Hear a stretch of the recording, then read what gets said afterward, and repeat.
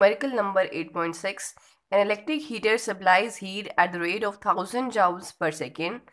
How much time is required to raise the temperature of 200 gram of water from 20 degree centigrade to 90 degree centigrade ठीक है उसने यहाँ हमें कहा है कि 200 ग्राम वाटर है जिसका टेम्परेचर 20 डिग्री सेंटीग्रेड है उसे एक इलेक्ट्रिक हीटर पे रखा और हमने टेम्परेचर उसका इंक्रीज़ किया 90 डिग्री सेंटीग्रेड तक, ठीक है?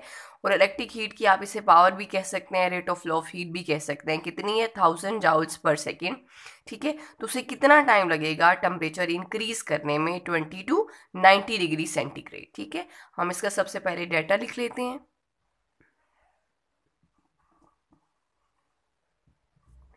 Rate of flow of heat है, ठीक है? इसे पावर भी लिख सकते हैं rate of flow of heat भी लिख सकते हैं, ठीक है? आप उसे लिखेंगे डेल्टा क्यू ओवर टी ठीक है? किसके इक्वल है? Thousand joules per second thousand joule per second ठीक है? अब ये जो यहाँ पर सेकेंड लिखना बच्चे भूल जाते हैं, सिर्फ़ जाउल लिखते हैं, हालाँकि ये rate of flow of heat है मतलब टाइम हीट को डिवाइड कर रहे हैं टाइम से तो ये पावर है। पावर का इससे यूनिट क्या होता है? जाउल पर सेकेंड ये पूरा आप लिखेंगे, ठीक है? और मास गिवन है मास कितना है? टू हंड्रेड ग्राम ठीक है?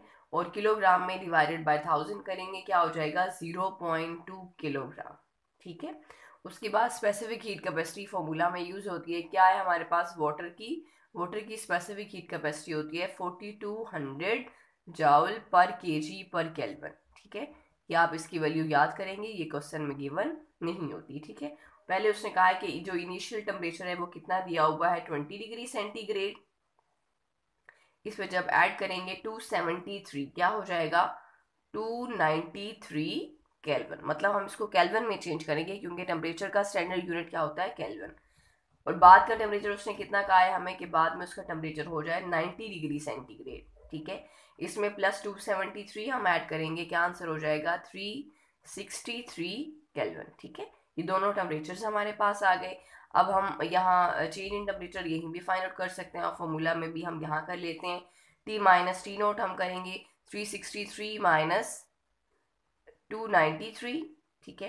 तो आपके पास आंसर आ जाएगा सेवेंटी कैलवन ठीक है? या आपके पास चेंज इन टेम्परेचर भी आ गया। अब आपने क्या चीज़ फाइंड आउट करनी है? टाइम ठीक है? टाइम के लिए आपके पास आपको पता है रिलेशन क्या है?